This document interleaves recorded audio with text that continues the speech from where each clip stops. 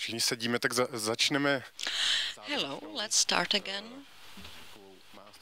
with the final masterclass of our session. I would like to welcome Erik Kjellberg here again.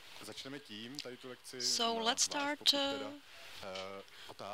with questions. There are many, apparently there are many questions, so if there are questions about Occupied, uh, please fire on.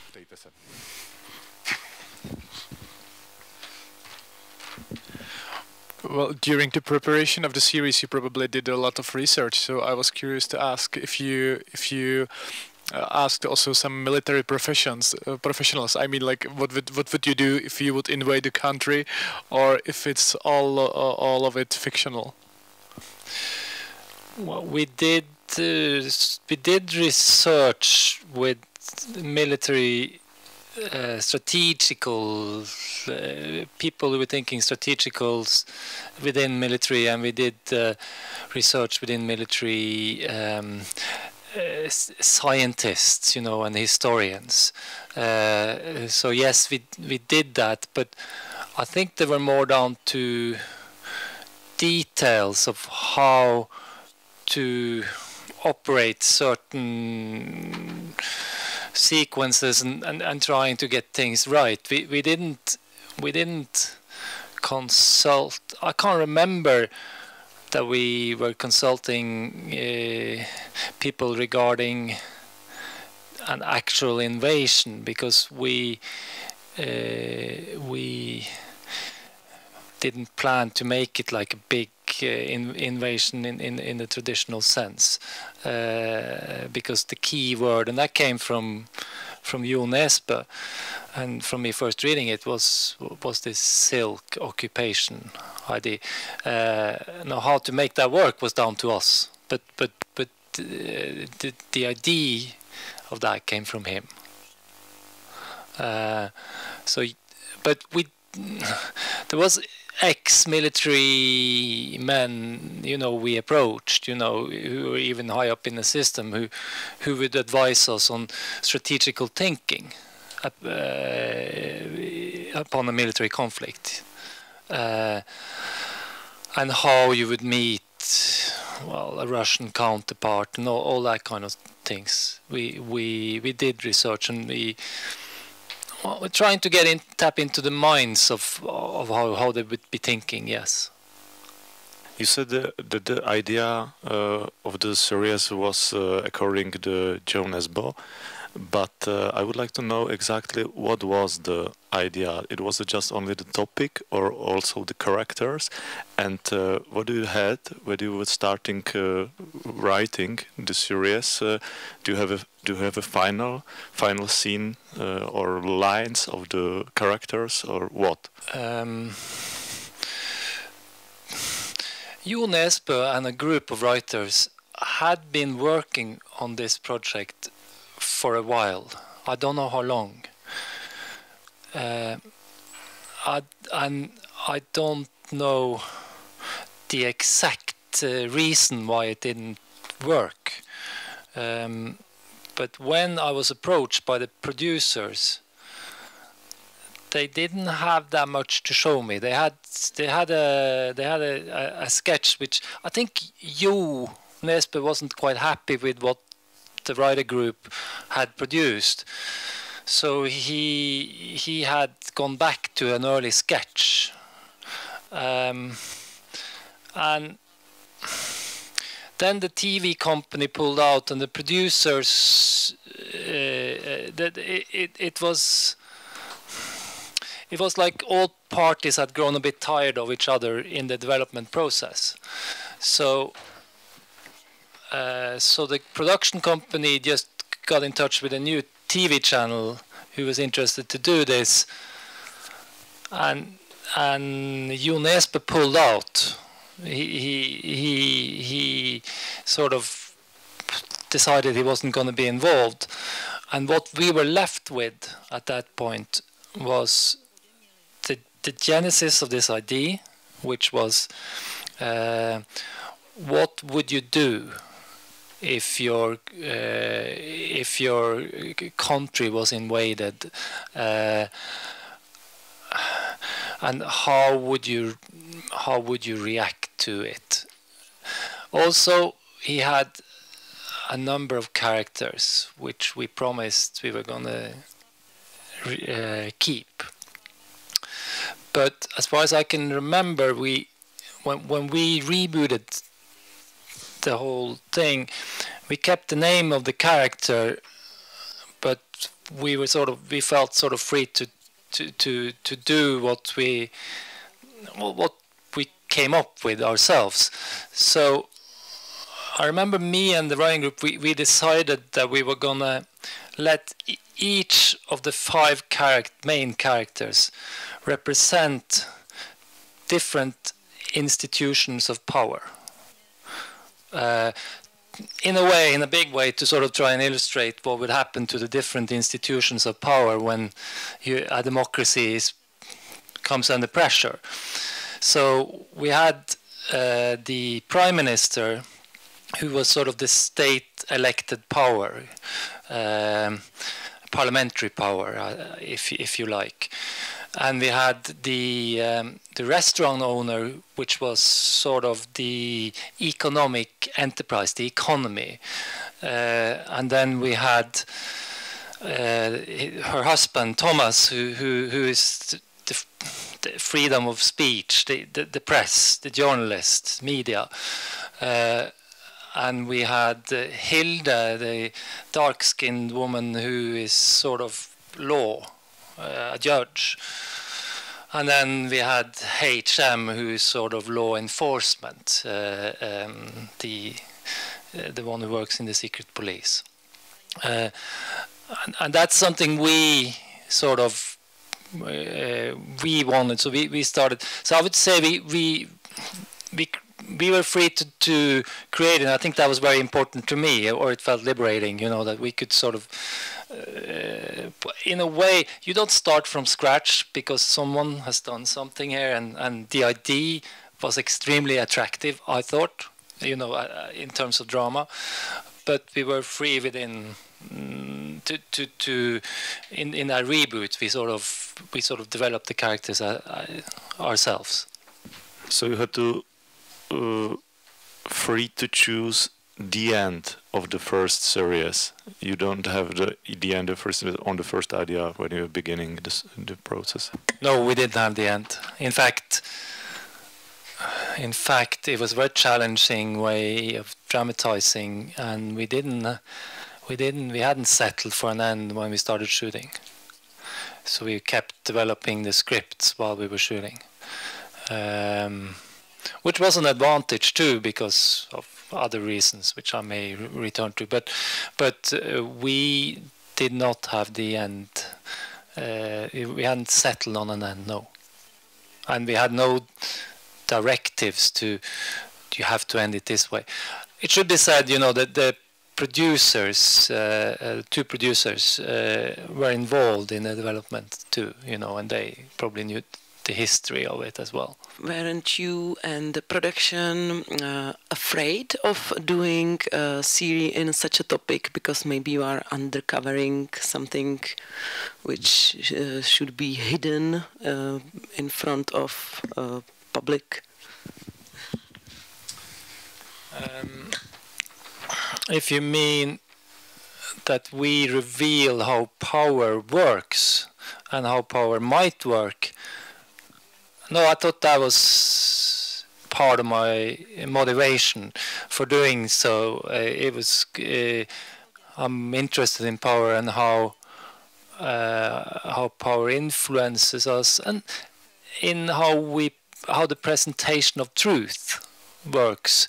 Uh, you know, in, in given situation, you know, it, it is an old saying that truth is the first thing to leave when there is sort of a, a war or a heightened conflict. You know, and uh, um, no, that was interesting. Were we afraid? No, I wasn't really afraid at any point.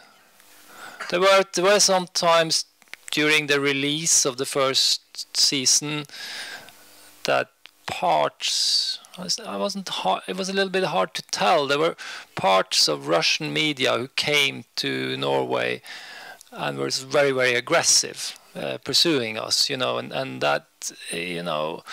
Uh, and we we asked you know to do research and some of those fractions of the media turned out they had a violent history and stuff like that uh, you know and and that so there were a few episodes in that regard which uh, um, was uncomfortable but uh, you know, we I, I, spoke with other press people and people who who had worked in similar environment, and they gave me advice of what to do.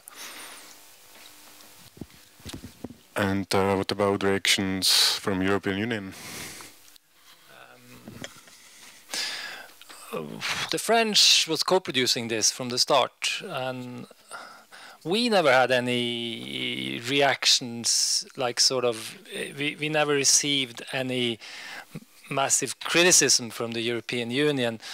I think that's part of of the Western European tradition that you you you you don't do it even though you would like to, and you find other ways to criticize it if if you don't like it. But but uh, I think that was part of what attracted the French was uh, when when we came up with this thing of how Europe reacted because I think uh, the, uh, the whole idea that you criticize power within your own sort of culture is is, is very common in in in in Western Europe anyway. So so it's and I, that was never I never received any unpleasantries or, or, or sort of criticism based on that.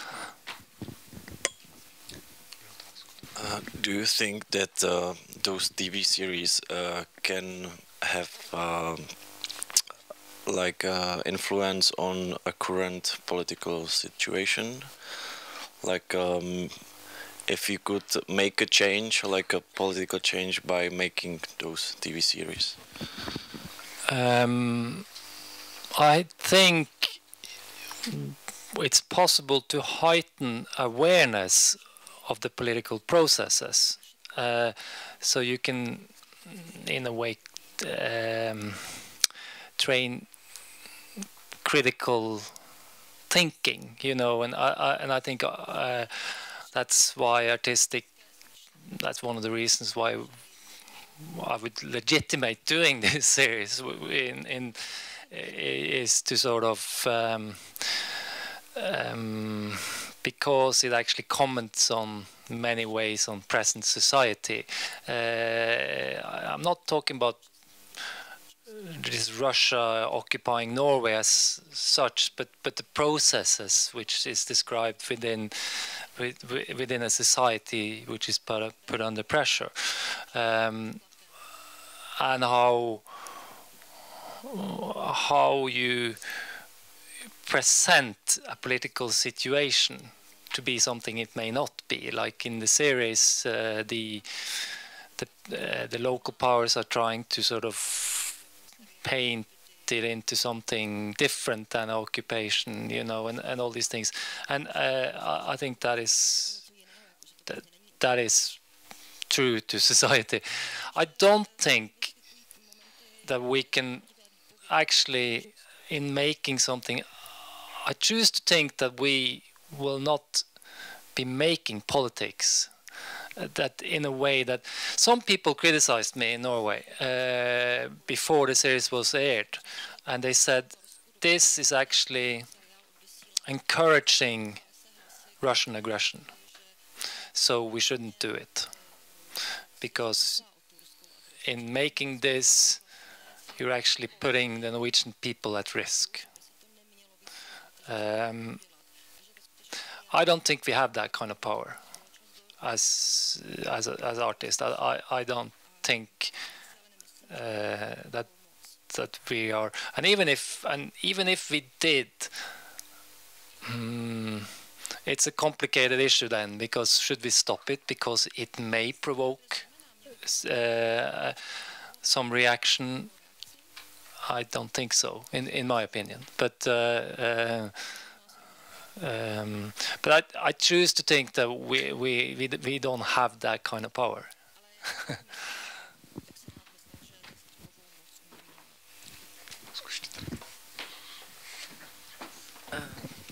and this is question from another topic. Just uh, if you can describe how are you writing when you when you have uh, new ideas? How how is your like uh, if you have some uh, way, uh, for example, get up early and writing or whatever. Um, well, this is done in a writers' group you know uh, yeah so so in within this group we meet and i think we do it quite traditionally you know we do the episodes and we put it up on sort of a board and we have like sort of oh we know we're going to do 10 episodes. And the producer suggests something. I was pretty new to tv i'd done one series before 10 years ago in norway and i wasn't satisfied because I was a director at that one and I was involved in screenwriting, but I did my first three episodes and then left.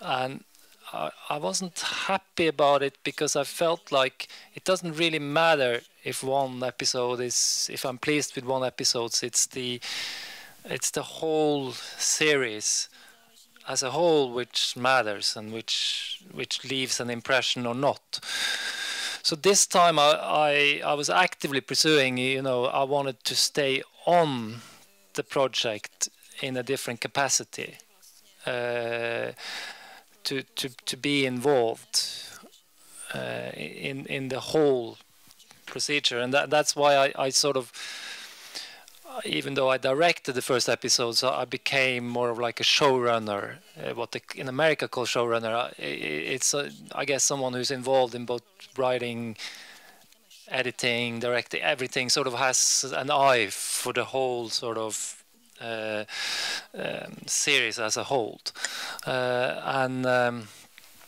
that was my most the most satisfying part of it. I, I think. Um, in terms of mythology, no, I, we we didn't have so much. We we the the producer, Swedish producer who had done lot, lots of TV, they suggested we do a, like a three act thing, like three changes within each episodes, dramatic changes.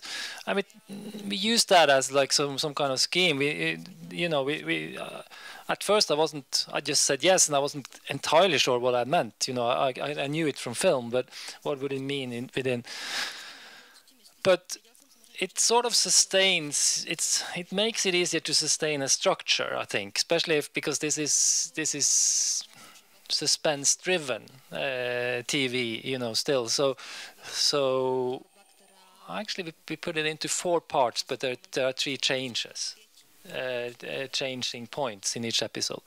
Uh, so we stuck to that, and it it it, felt like that created a good system to us, and. And then we, we decided we were going to follow the five characters, which I mentioned before. It became six characters later on because I realized there was one character we, we grew very interested in. Uh, and we said that we were going to just follow these characters and what they were involved with and not create lots of other scenes beyond the characters. So that was a rule. So uh, those are kind of things we did to try and create, which which I I'm a great supporter of. Is is just to try, is you try some rules out.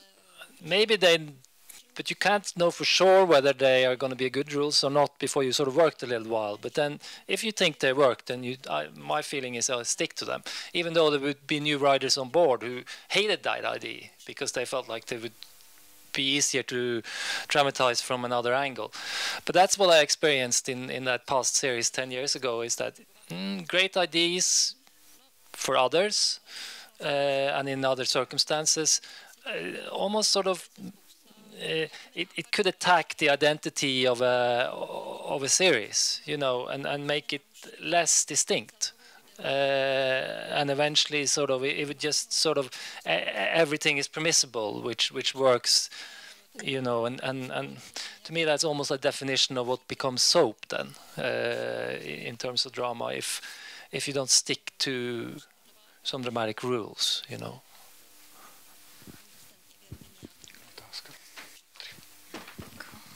Um, I wanted to ask about the audience, um, like if you were intending it for Norwegian audiences or Scandinavian, or you were already thinking about international audiences, and how this maybe would influence the way that you would screenwrite it um, and then direct it. Because I can understand that maybe some things are really context driven, maybe for Norway. And if this is something that you worked with, and if you feel that it's um, maybe understandable for people living in the USA, um, and maybe how this influenced you, or if maybe there are different versions. Was. Um, well, we had a French uh, co-producer on board, so we knew it's going to be aired in France and, and Arte, and they, they have a branch in Germany too. Uh, and there was a Swedish co production company, but it's still Nordic though. I think especially the French influenced my thinking in the sense that in a sense that I realized, you know, well, it has we have to try and make it work for a French audience uh, somewhat, you know. To, uh, but that was as far as I, uh, when we started out, that was that that was as far as uh, as it went, you know. Uh, I didn't, I I didn't think about it that much, but the way it has become successful uh, around the world because I think it, it has been transmitted uh, in every continent, you know, and all, all over. Mm, I didn't think I wasn't so conscious about it. I think when we did the second season, I was much more sort of uh, because truth to be told, it it it did okay in Norway. Uh, but reviews were a little bit mixed, and they thought, no, no there, there were lots of different opinions upon it. And it was only when it went international that I received the response I thought I was going to re receive, or we were going to receive from from from the project. So in a way, it felt more satisfying when when it when it started to travel. Um, I, I, but I, that's not something I foreguessed. Uh, although I probably should have because because we did use the Second World War as as a model for a lot of things, you know, in in terms of how people reacted and stuff, and and and that was part of our cultural history.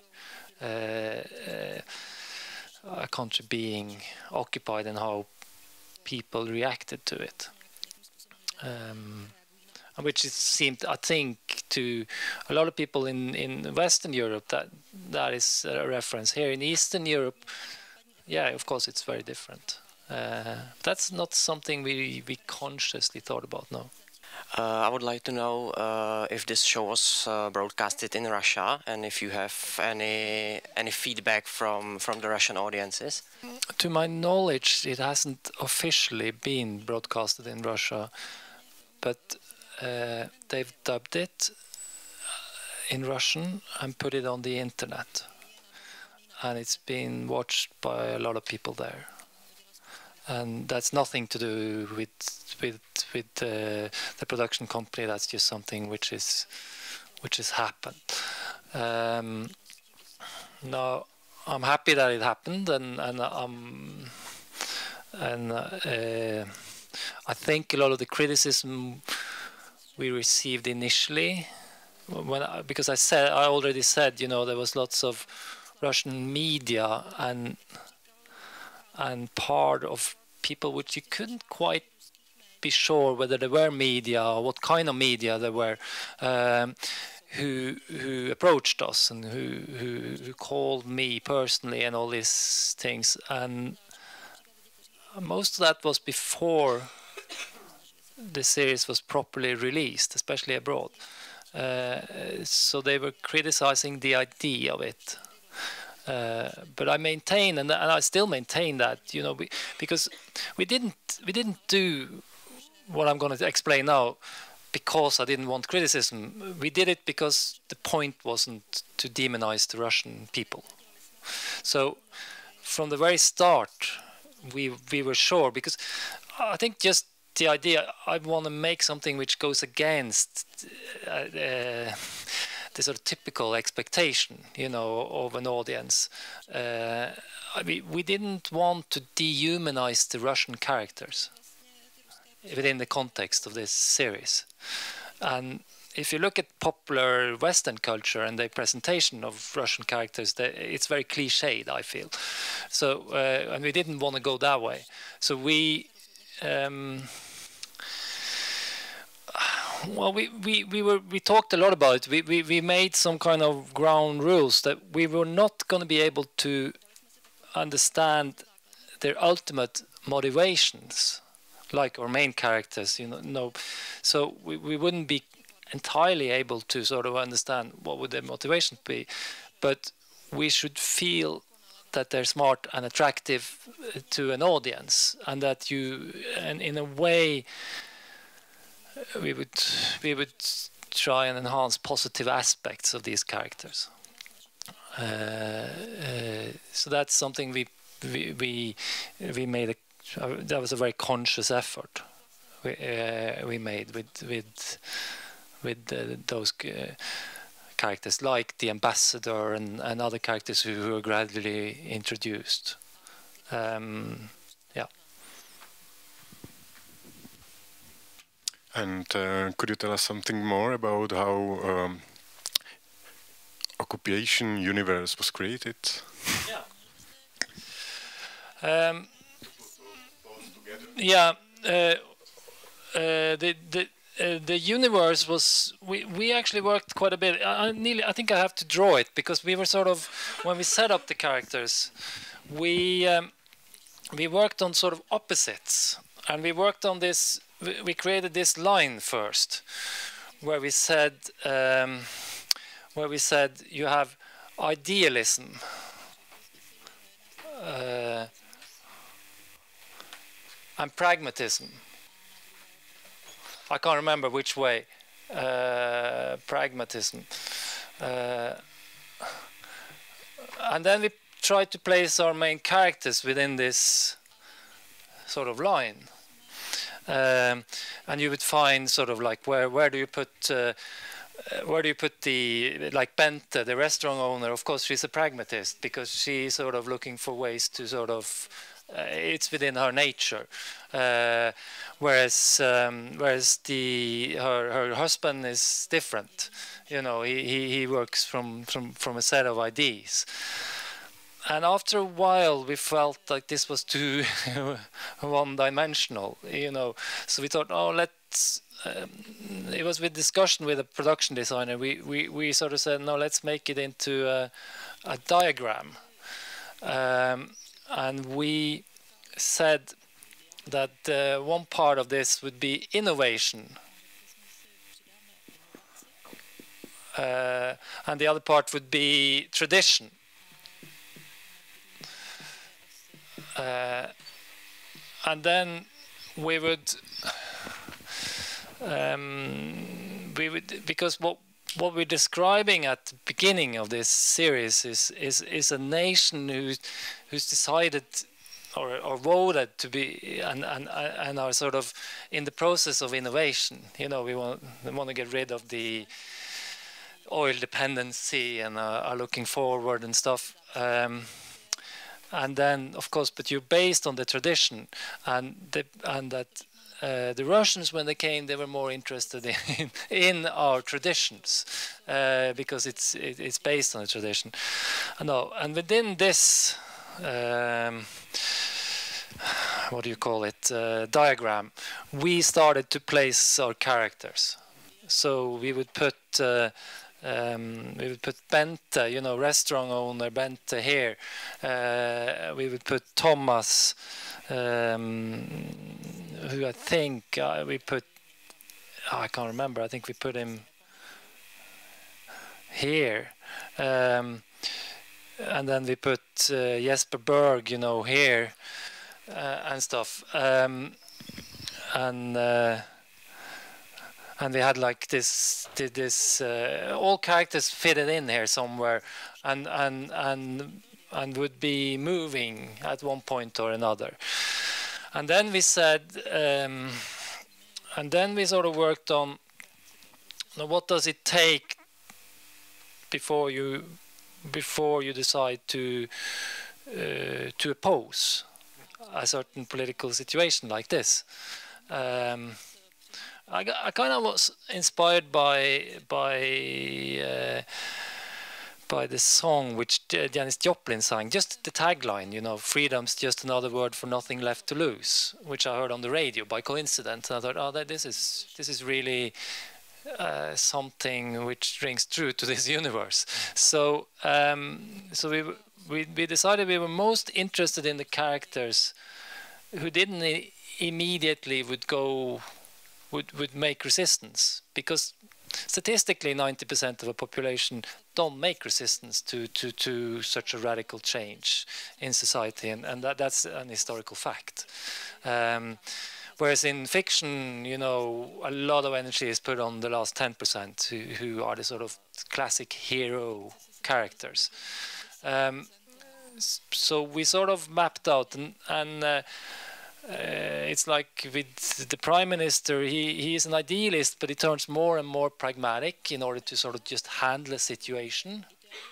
Uh, up until a point when he may be getting to a breaking point. I don't know whether I probably shouldn't sort of reveal the plot of it, but but that was uh, that was part of our uh, sort of, um, uh, of planning, and and then we used this for for production design and for other purposes.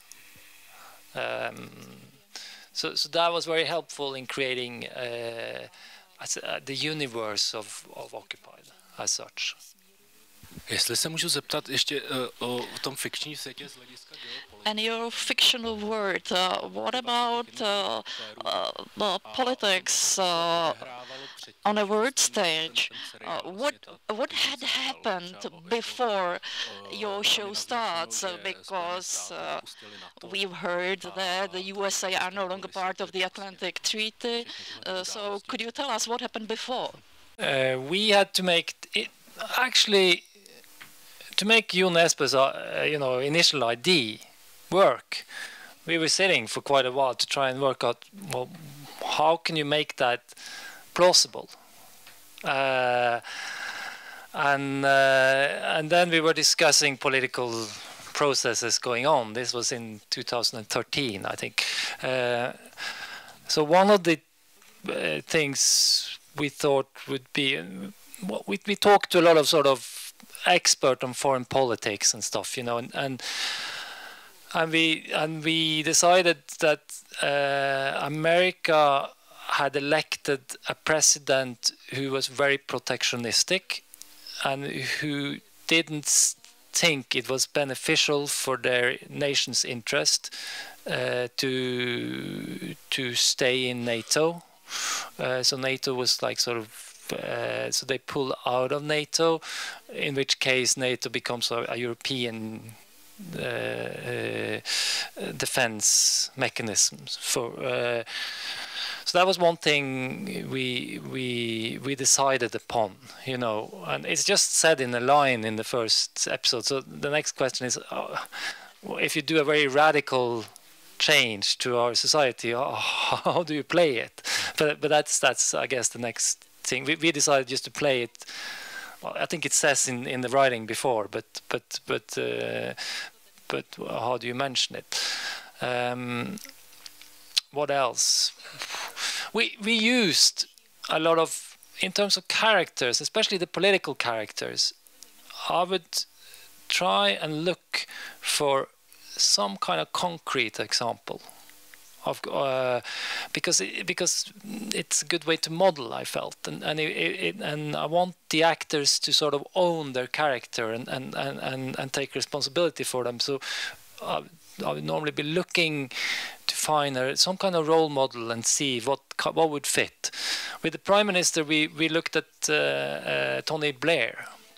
Uh, we discussed others, of course, but eventually I felt like Tony Blair was was good because because of his enthusiasm and sort of idea of, of of being an innovator when he when he first came to office, and then eight years later he he, he would invade Iraq on a false premise. You know, it it, it just felt like he he was he he he he went through some processes which in, while being in power, which are I found interesting and, and, and were relatable to, to the prime minister. And I guess we did similar thing to other characters um, to, to, to give them some kind of very concrete um, thing to, to play upon. And uh, according to my opinion, the media in the series have like something like a crucial role. Could you explain how to use them? Um, do you mean the the character Thomas, or do you mean, or do you mean the, the in general how media is? Thomas is, is a symbol of media. Yeah. Uh, Thomas, he. What is I'm trying to sort of recall? He's he's. Um, um, well, one thing we decided when we looked at these characters and we looked at the premise and we said all characters, we made a rule, all characters are going to benefit from the occupation somewhat. Uh, in a sense that they were gonna something were gonna happen which which was which which was beneficial to them one way or the other. Uh, and for Thomas, you know, he's a he's he's a struggling. Media is struggling. A lot of people in the media is struggling at the moment in in, in Norway for, for sure. You know, the the internet revolution has. Uh, has uh, has turned everything upside down. Uh, so he's become like sort of old-fashioned, old school, you know. but but he's an ide idealistic. he holds actually he should be there. Come to think of it, because he because of his he's within the tradi tradition. And and the and the occupation offers him some opportunities which gradually through the process of that season means that he, he his relationship with uh, his wife who has different interests you know uh, is, is is more and more tested uh, because um, well, looking for truth within a, such a political situation is both dangerous but also very engaging for a, for a, for a character like him. Uh, um, but um, well, I'm not. I don't think I, I. I don't think. I don't think I should reveal what happens later on. Should I? No. okay. Okay. I have two questions. When you said that uh, occupation benefits all the main characters, so what's the main benefit for the prime minister? Because I don't see one. And uh, the second question: How many more series are you planning to make, or if it's a definitive number, or if it's in progress and negotiation? Um, we have finished the second season, or we're just finishing the second season uh, of Occupied.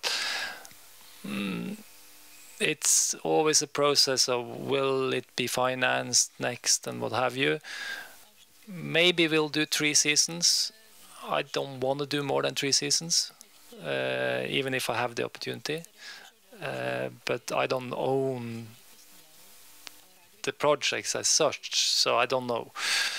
Um, what's the benefit of the prime minister? Mm. I can't remember. I really can't. I would have to look up what we had in mind. But uh, he uh, obviously is the one who's uh, whose whose illusions are, are, are shattered, you know, some way or the other. Uh, could you tell us more about the creation of the screenplays? Because you just told that you don't know if there will be any any more episodes or third season. So how do you approach the story so you can kind of finish it because the end of the season, but you still don't know if there will be one more maybe. So how do you how do you approach the creation of the story? it's an interesting question. I, I, uh, a friend of mine who does feature films, uh, he, he sort of criticized the whole idea of TV because he says, well, it never ends. If you're successful, it never ends. So it's not satisfying uh, from his perspective. And uh, that is sort of a valid criticism of, of TV if you think the ending is the most important part of uh, of a dra- of a drama like that. Um, I I I'm not so sure. I think it's a bit like life. We don't know where it ends before uh, before all of a sudden. But, uh, but so it, TV leaves you with the opportunity to sort of work on them thematic ideas and so on how you can sort of uh, explore them. But the reason I said, you know, I, I probably wouldn't want to do more than three seasons is that I feel we may want to start repeating the pattern. So these characters, and, and, and it's, it's like you, you, you strain the, uh, the, the, cre the, the creative ability. They, they've, they've gone this far or whatever. Um, we within a season, or especially now that we've done a second season, we, we, we discussed where we have the characters and where we wanted them to end that season. Uh, and we discussed that from, from basis of we, we used to have sort of taglines on, on our main characters. Um, it's like with HM, the policeman, uh, that he uh, uh, that in that he scares the people he wants to protect. So there's often a sort of a paradox. Uh, um, the judge, the woman is uh, is she, she loses faith in her own judgment. Um, uh,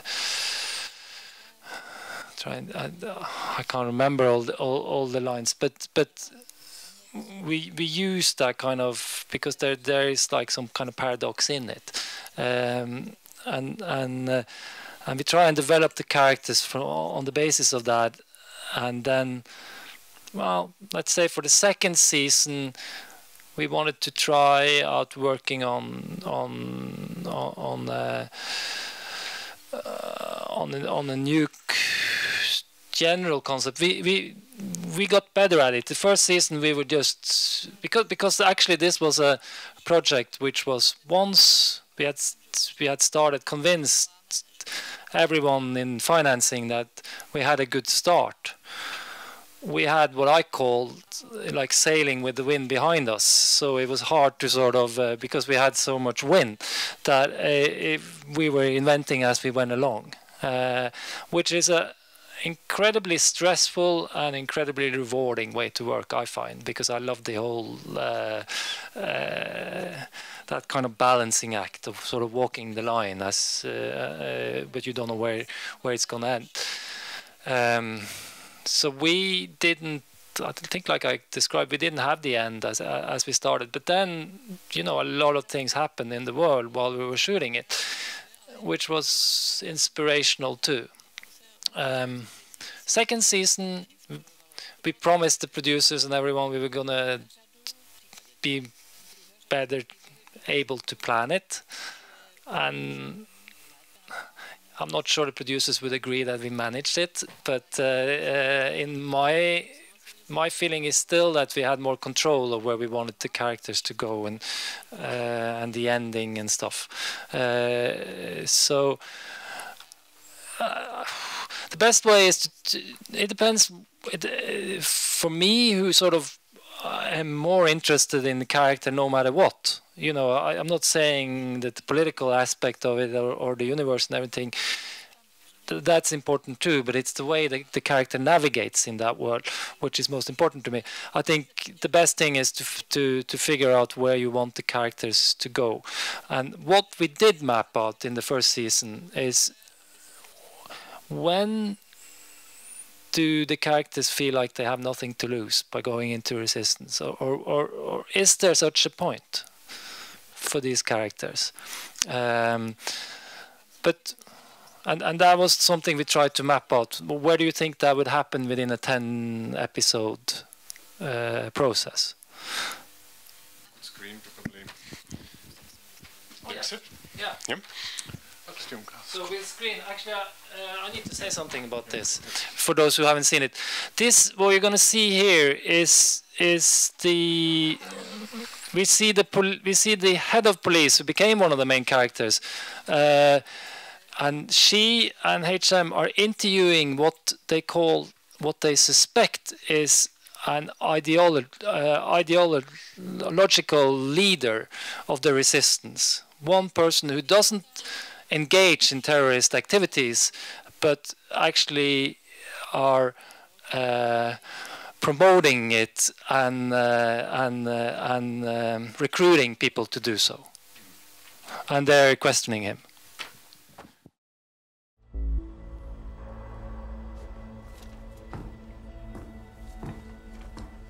Vet du hvem denne her er? Det er gardisten som prøvde å skyte Syderøva, og han vet jeg ikke hvem er. Sikker? Ja. Jeg antar at han var involvert i terroraksjonen mot PST? Jeg kan forestille meg at det er der dere er i etterforskningen. Bilde av en ung, ukjent gutt. Hvis vi sier til det at vi veit at gardisten sto bak bomba, da? er i stand til å bombe PST. Det skulle jeg tro. Vi har sett videoen der du forsvarer hans terroraksjoner. Nei. Forsvarer ikke terror. Hva du forsvarer da? Det jeg forsvarer, er enkeltmenneskets rett til selv å vurdere hvilke handlinger som er nødvendige ut fra denne historiske konteksten. Hvilken kontekst da? Denne situasjonen vi har nå, hvor regjeringen og de styrende organer har mistet sin legitimitet. Mm. Fritt Norges handlinger er selvforsvar mot en okkupasjonsmakt. Det vet du godt. Hva oppnår man med bombe? Bruk fantasien. Skape frykt. Skape håp. Hvem vil man ramme hvis man vil skape håp? Er du tørst? HM, kan du hente litt vann? Takk.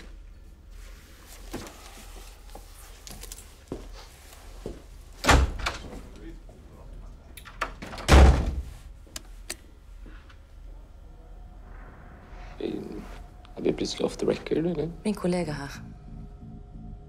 Han kommer til å få deg til å svare på hvilke type aksjoner du støtter. Og late som det er helt hypotetisk. Og så fyller du av deg selv, så kommer du til å svare på det bare for å vise hvor smart du er. Hvis du svarer på det, så vil han kunne få deg siktet for oppvigling til terror. Fare for rikets sikkerhet og få full overvåkning på deg.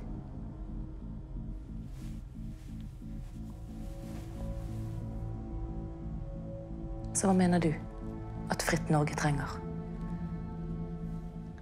Det Fritt Norge trenger, det er folk som er villige til å ofre noe som ikke har noe å tape.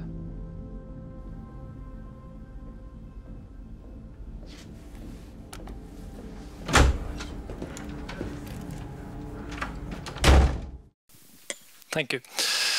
Um, well, I wanted to to show this because it sort of leads on to the uh, concept of when are you prepared to make resistance and in which way. And there's something to say about this woman who's the head of the secret police. Um, she was first in our first drawing, she wasn't the main character, and then, but she was still thought of as someone who was working for the other side uh, in terms of police work.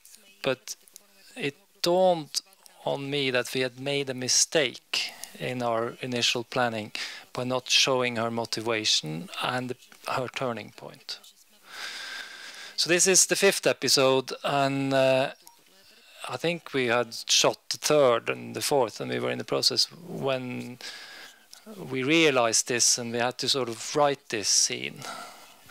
uh, and sort of turn everything around in her because we, uh, in her character. She, it was just because you, it felt like you couldn't work with these main characters with hidden agenda like that. Uh, uh it just didn't work within the concept. Uh, Russian characters, fine. They, they uh, because you because you're supposed to guess what if they have any ultimate intention, which are different to what they say. But um, but she, it felt false, and it felt like you wouldn't be able to fully identify or understand her. Uh, so that's why we we changed uh, this and, and, created this scene. I guess that's that was one advantage of being very late in in or or being able to improvise and do changes while we were in the midst of of, of making uh, a series. Um, yeah. Uh, I would like to ask you um, uh, practical two questions. Uh, one is the practical one. How does it work in the writers' room? Um, how many people work there? Uh, whether you have been uh, each working on one character or you have been developing the scenes together. Uh, whether you divide work and then revise it somehow. And my second question is: Do you have a favorite character? And if yes, who is it? Um, do I have a favorite character? Mm, yeah, I liked. Not really. I like them all, but uh, but uh, I like the, the, the restaurant owner, the woman, uh, a lot. I feel like she she has this um, way of navigating according to everything which changes, and I I can understand that. Um, in terms of uh, how we work, we um, we worked with it. It it wasn't a set plan. You know, in the beginning it was set like three riders and me, and then I think we worked. It was hard to crack this exactly how we were going to do it. So some riders left for other projects, and it, we we were left with one woman called Karianne Lund and me and she wrote all episodes uh, at one point. She she would write through the whole episodes, and then as we were shooting, I would do rewrites. Uh, because I would be more sort of attuned to how the director and, and, everything happened, you know, and we would we would keep working on that. Um, in terms of writers' room, we were notoriously late in writing this, so so first we started out with three writers, two of which uh, had to go and do other work, and we had just finished writing three or four episodes, I can't remember. So we were scrambling to get. We got young writers in, and we for quite a while we worked with a group of young writers, and her and me. Um, and these young writers, some fitted or, was was well fitted to work with this combination of politics characters and, and, and thriller you know elements. So they stayed on but some didn't. Um, often they would come up with an idea and maybe write like a first sort of treatment. Uh, I would comment on it I would write another treatment. Then we would leave it on to the main writer to write the, the, the script and and then me and her would continue doing so. Uh, one young writer came in and did some episodes all the way through. So it was it, it was it was we didn't work with a set system, um, which had benefits but was tricky. Second season we decided it's going to be two writers all the way through and me um, one of which was the woman I work with, you know, and we're co-creators, um, which also worked. Uh, but I kind of started missing this crazy atmosphere of these some of these young writers and writers who came in and out, you know, because it some of them came with really good ideas and made us turn things around a bit, you know, and and, and found ways to sort of integrate what we uh, had in mind. So uh, uh, I don't know if we're going to continue what what, what system, but I, I, would probably rather work with with more than two set writers, you know. And in terms of the story, how are you approaching? Like you, the, if you started with the kind of basic story for the whole series and then worked on the, the episodes, or were you approaching one episode, second episode, third episode, fourth episode? I mean, the overall story. How are you finding it? Well, I think it's quite sort of traditional that you work on the you work on the overall idea of the series, especially for the first season, for a while, and then you just start working on the first episode, and you need to convince the financiers that the first and maybe second episodes works for them to pay the the thing to, which gets you going. I think that was similar here, uh, which means that we fulfill the first episode, the one you saw, uh, and maybe the second to some extent, uh, and then the rest we we just wrote like so some kind of treatment for. Which I think if I look back at it, you know, that treatment doesn't quite hold true to how we how, how we ended up doing it because we one thing which which has been tricky, which happened both times, is that I've directed the first two episodes in this and the first three episodes in the next season. And while I'm out shooting that, I I don't have the same attention to the development. So and then I come back in and and and and start messing about with things. So maybe so we've discussed maybe it's better if I don't direct the first, but direct the last episodes uh, if I'm that in, involved, you know, and, and and there are very good reasons to to think that, uh, that that's true because it's it's basically not physically possible to both sort of do the conceptual direction and do the show running simultaneously. You know, it's it it uh, something has to give then. Um, God, did I answer your question? uh, hi, just out of curiosity, I mean, uh, when creating such a universe, I feel like uh, you kind of have to uh, place yourself in the character's shoes. So I just wondered uh, whether you, th you thought about what would you do if such a situation happened in Norway. Um, I think I would daydream about being that hero, you know, you see in the second episode, who sort of um, decides to be the first to do resistance. But that would never be me, for sure. Uh, and I would be one of the 90% who, who would try and find a way. I would sort of look at it from different angles and and try and sort of think, well, maybe this isn't too bad. Try and sort of look for ways to um, uh, uh, to maneuver within the system. Uh, maybe I would I would definitely be critical of the process, but it would take me time to sort of try and figure out what to do, and I would navigate in a way that I would, as long as possible, try and be sure that I was still on the legal side, even if I resisted uh, the processes going on. Um, yeah, I, am definite that that would be where, where I would end.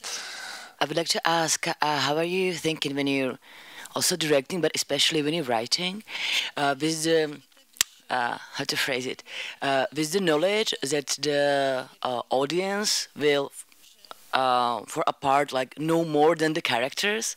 Because for example like um, for example when the st series starts started airing like uh, it's called Occupied, and uh, at least we, uh, as viewers know the premise. Yeah, it's one of the reasons that's the that's the catch why we want to watch it. Yeah, this is going to be about uh, Russia occupying Norway, so we have this kind of like tension before it actually actually comes, and maybe the same also uh, goes for Nokas. Yeah.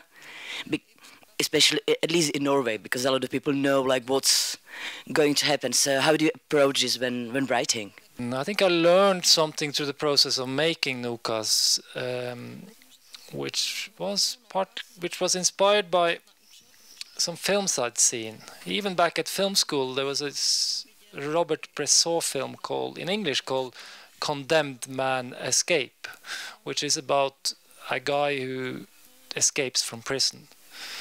And it says in the title that he's going to escape.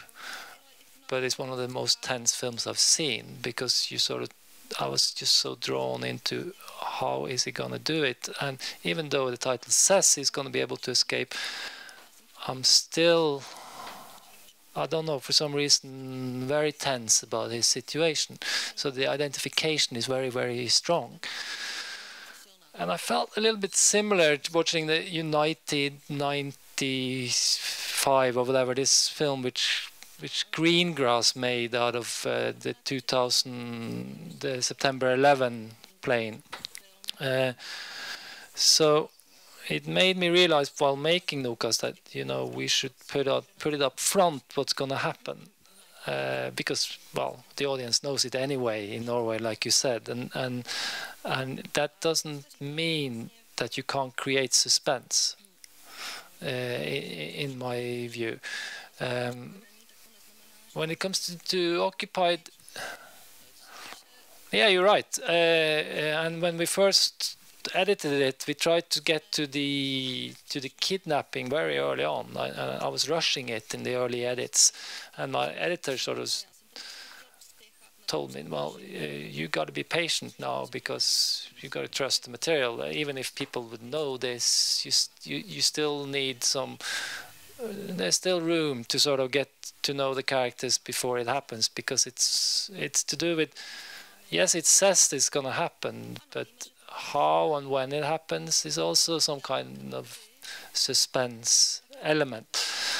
Uh, so, well, it, it, but that's not something I would think if I hadn't experienced it while watching other movies.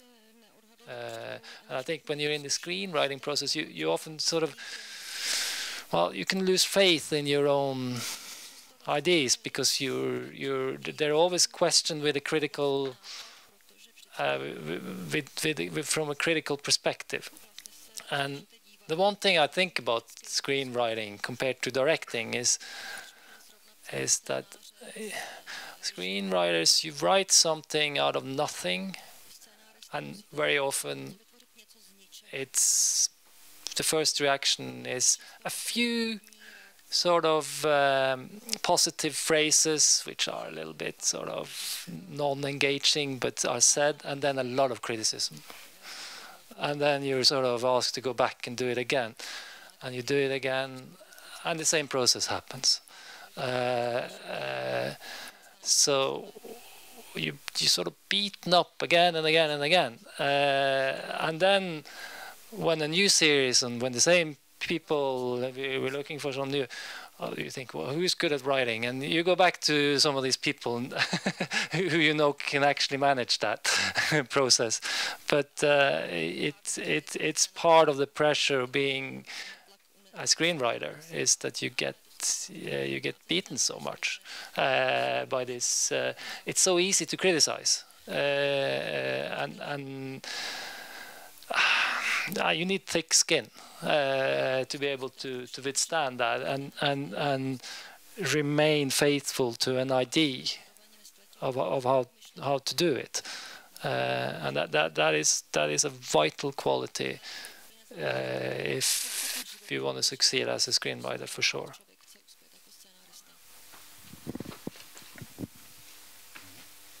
And back to occupation and um, how did you actually um, create it, uh, create um, the time perspective in which universe of occupation worked?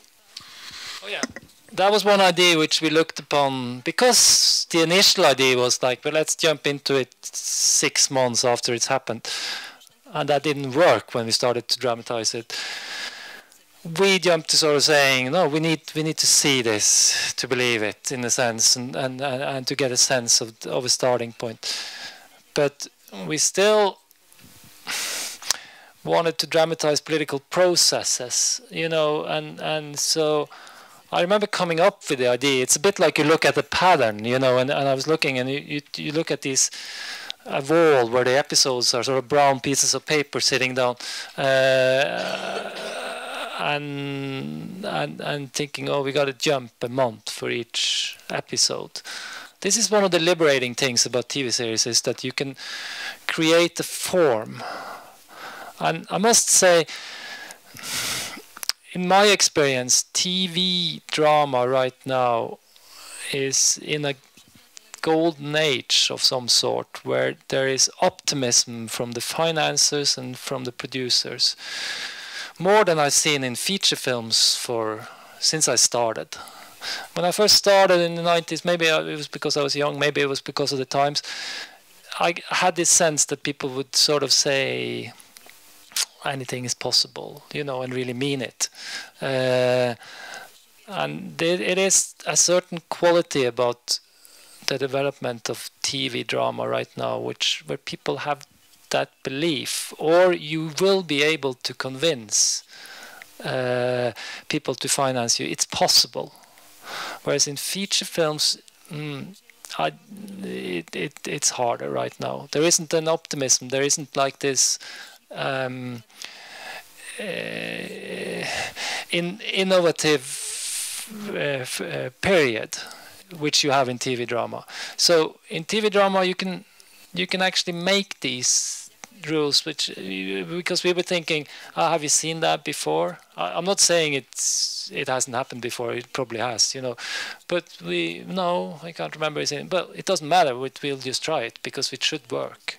Uh, and to work up these kind of um, processes, you know, sort of uh, of trying something is is is within the form of TV drama is is is possible now. I feel, uh, and I, I I think that's a period. It's in my experience, it's not going to last forever. but uh, but right now, there is that possibility. Would ask. And did you find any inspiration uh, during the research among um, former Eastern European countries like Czech Republic who experienced actually Russian occupation? Mm, we discussed it, um, but we didn't. Uh, we didn't go there to sort of uh, uh, to try and investigate it, you know, in a sense. So, so it it it wasn't it wasn't like a a key um, part of our uh, of our planning. You know, it's like I said, it it just dawned on me when the producers came in, when they started selling it. They said, "Well, all the Eastern European countries are interested, you know, in buying it." Uh, uh, oh yeah, of course. Uh, so, so you, you realized sort of then. Uh, and I must say, I, have I've been interviewed by quite a few sort of TV interviews coming here, which I wasn't I, I, I wasn't fully aware of how popular it seems to be. You know, uh, you know. So it's it's not. Of course, I'm I'm aware that it's that, that it's. I think it, it, sometimes you bit lucky with things. You have an idea and, and, and it sort of hits hit a nerve, uh, which it has in, in many places. But maybe here in in, in, in these parts of the world, it it it um, it's more than a nerve. It's probably a central nervous system kind of thing because because it's it's because of your history. Uh, and I remember I, I, actually visited Prague when it was part of the Eastern Bloc, and and I, I, I remember that very clearly. That um, this feeling that it's because because I was when we I was very young. We came to the train station and we were invited to come and there was someone there and they said uh, and they said you could stay at our house. Uh, so we stayed at at at their house and and I remember thinking, you know, there's uh, there's limitations to what you're able to express uh, within the, that society, but there are a lot of. Uh, it doesn't stop you from thinking because we had all these discussions, and it doesn't stop you from uh, from developing a critical mindset or something. So so so maybe that I, I I can't say whether that was part of me in creating this this, but that was that was definitely an experience which I which I had.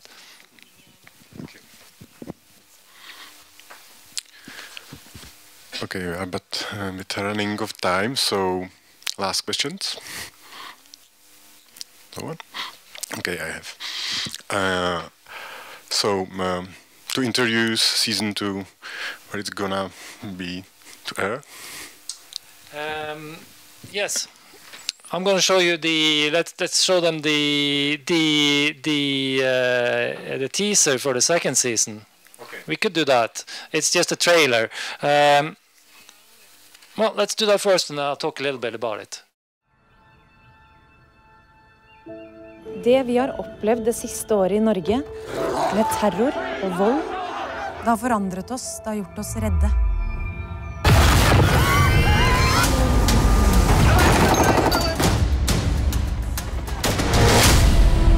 Det er ikke alle russere som er mordere. Jeg må fortsette å holde liv i Maya Maya. Jeg har blitt spurt om å bli statsminister. Du kommer til å bli spist opp som en liten mus. We are here to protect you.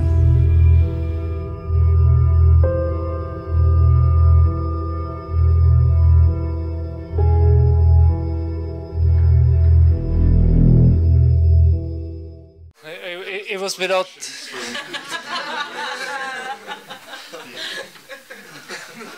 I didn't realize it was without subtitles. Uh, but um, second season begins in Norway in well 20, 29th of September.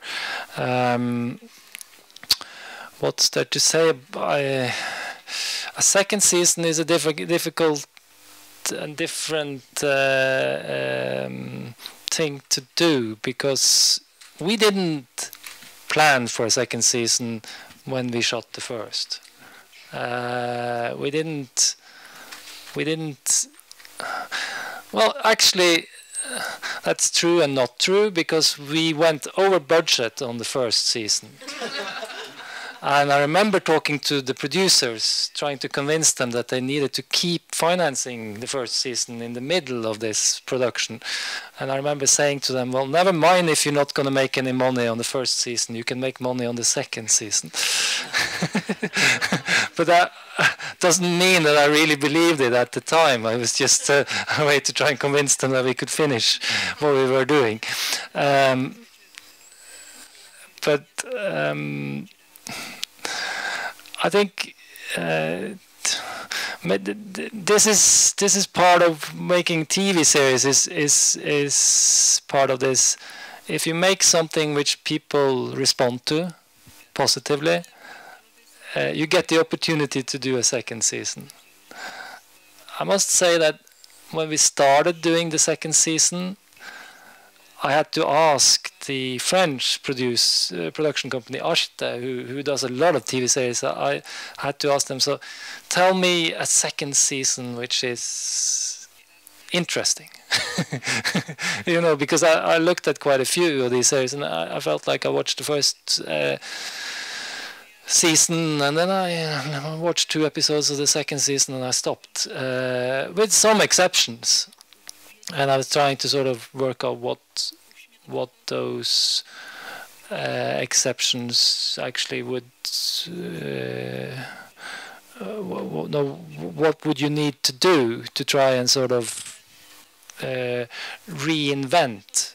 And and because you you're watching a TV series because well one thing they said is it's just a sort of simple rule. They said well people are attracted to the plot but they stay for the characters in a sense that if you created some characters you want to root for you you you, you that, that, that that's part of your, uh, your your capital in a sense. That's part of what you uh, what you have but I also think that in order to in in this case you know when we started making the second season we we wanted to um, we we sort of think well okay, we need to change some of the premise of of what the outer threat is to this society uh, in order to sort of so we jump half a year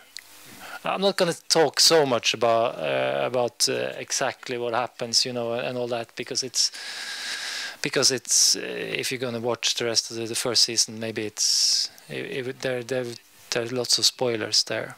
Um, but um, yeah, it, it it it it's it's actually from a creative point of view, it's somewhat challenging to do a second season because you you can easily start doing the same again if you're not very conscious of that fact. Uh, so yeah. Um, okay. And uh, when are you going to release it? Um, it it is being released in in Nordic countries. It it goes straight to this stream format, you know, uh, because they paid most. The first season there was a TV channel who paid most. This is indicative of our times. Uh, the second season is paid most by a streaming sort of uh, yeah, a, a competitor to Netflix in the Nordics uh, arena, and they pay the most. So they get to release it first, of course. That's part of the logic. Uh, and I don't know. I think they have a certain certain amount of months, you know. But but but for the rest of the world, it's mainly to do with France. France, Arte are the main co-producers, and they're they're TV TV broadcasters, and they have to premiere it before the rest of the world. I think Netflix has bought it in lots of countries. I don't know about the Czech. no. Here it's the state who, who, who TV channel who, who, did the first who broadcasted the first season. Um, I don't have all the details of who who who have bought it where, but um, I know I know that it can't premiere before after January because France sort of has a has a lock on that, having been involved one good thing I, I would say a good thing about you know uh, about streaming uh, facilities you know it, it's it's this thing because Netflix really made this series popular in in America uh, and in in uh, in Canada and other places you know. And a good thing about Netflix is that it creates for a small series like we are you know we, we're we're like a foreign language small TV uh, series which is really hard to break into uh, such a market. And then but if you have something which people like then then word of mouth actually works on on uh, on on the stream like like Netflix because because it's always sitting there and you can watch it when you want. And people with Twitter or whatever. So it would gain a momentum, which is hard to do in cinema because of the opening weekend is is is so important to cinema. Uh, but for TV dramas, you have the grown-up audience is is, is has to, to has gravitated towards TV series uh, which gives you opportunities because you can you can actually work on quite complex material and, and, and they will respond you know but uh, but especially this streaming thing uh, has some benefits for sure, which uh, which I will embrace, you know, because it's. Uh, I think just the ability that you can watch it, you can binge watch, or you can watch it when you want, is is is is a good thing if you're outside of the mainstream which I, we're not outside of the mainstream in Norwegian context, but but in, in the world context, we are because I would think most Czech TV series, if you go into the world, you know, it it it it will be uh, it will it will be the same. It it's yeah.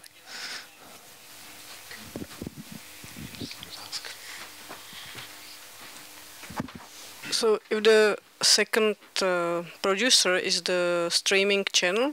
How is the coverage of the streaming channel in the Norwegian in the, in Norway? How how will be the difference for the for the Norwegian public when the first series was in TV and the second is only on the internet?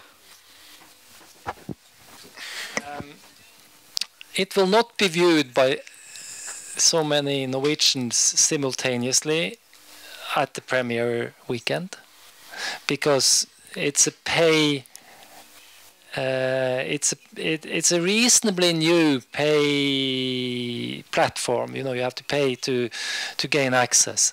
So it will be strange uh, because it will be strange because we will release it and I don't know how many are going to see it, and it's going to be dependent on if people word word by mouth, you know, and then they will see how many customers they get, you know, this streaming, to try to try and take stock of whether it, it it's a valuable investment or not. Uh, it's new to me to to have a premiere that way, so all I can say is for the rest of the world, it really worked to our to our benefit. But I didn't have so high expectation for the rest of the world. I, I, when when you do a Norwegian TV series, you're just uh, uh, you're just happy to get it out uh, around the world. You, you you don't question whether you know this TV channel is better than a than a rival TV TV channel. All this stuff. But whereas in my home continent, it, it yeah it will be strange to premiere it that way but it must be said, you know, when I did the second season, I was thinking much more globally because I felt very confident by what we, by the reception we got around from around the world of the first season. So I just felt like uh, it's not, we're not so dependent on on the local reaction, uh, and that felt liberating. I felt like okay, we we don't we we don't have to cater for, for, for a certain bit uh, kind of audience within Norway, you know, to to to justify this series. Um, so and then we'll see what's uh, how how that's gonna ha happen. I I feel like from a creative perspective, I feel like we're in the midst of a total media revolution, and as long as I keep creating stuff which I'm interested in myself, I feel privileged. And if if whoever finances it, uh, well, uh, I'm not talking about their ethical background of how they earn their money. I don't know, but but uh, but just from the whatever platform or whatever, it's not so important to me.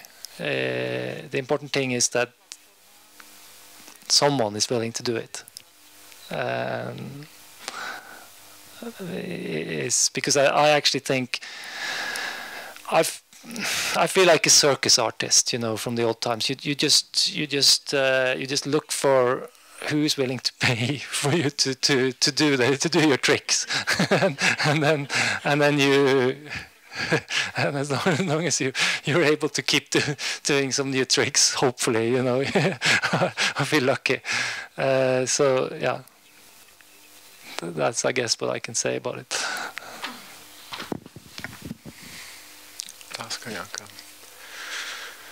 So, Erik, thank you very much for your answers and to be here. So.